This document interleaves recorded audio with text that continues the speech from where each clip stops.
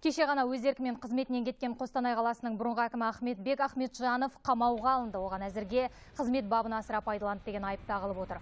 Естеріңізге сала кетейік, тамыз айында қала әкімінің екі бірдей орынбасары құзырлы орындардың құрығына іліккен болатын. Оның бірі Мақсұт Қалиев 13 миллион теңге көлемінде пара алып жатқан жерінде ұсталған. Көп замай өз кабинетінде екінші орынбасар Фрунзик Аракелянның да қолына кісен салынған еді.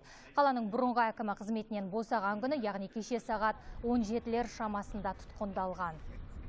Сегодня 9 сентября 2000 9 қыркүйек күні Қостанай қалалық нөмірі екінші сотына 1966 жылы туған азамат Ахметбек Масақбайұлы Ахметжановтың ұсталған жөнінде хабарлама келді. Оған Қазақстан Республикасы қылмыстық кодексінің 370 бабының 4 тармағы бойынша қызмет бабын асыра пайдаланды деген айып тағылып отыр.